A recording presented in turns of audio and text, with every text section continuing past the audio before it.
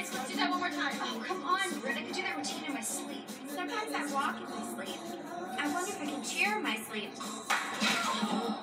Wow, it worked. Uh, let's take a break.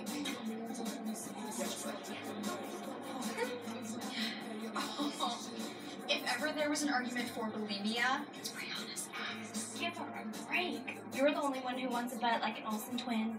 Amber alert. Pacific Vista has never had a fat cheerleader. Brianna's the best in the squad, so she gained a little weight over the summer. It's not that bad. Are you kidding me? The girl's a cow. You have to talk to her. Brittany, you don't have to say anything. It's your squad. Britt, if you don't say something to her, I will. Okay, fine. But after practice. Why wait?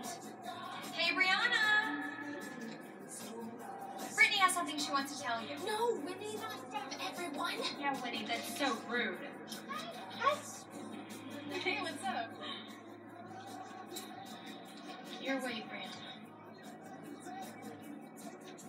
No, it's not. I would just go up on more last year. And that was pushing it.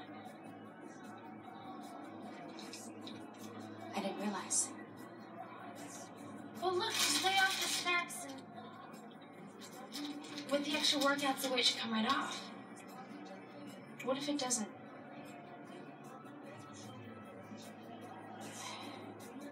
Put it this way Pacific Vista has never had a fat cheerleader.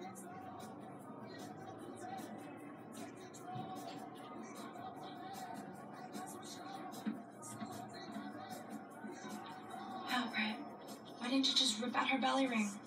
That would have been less painful. Don't worry. That's exactly how I would have handled it.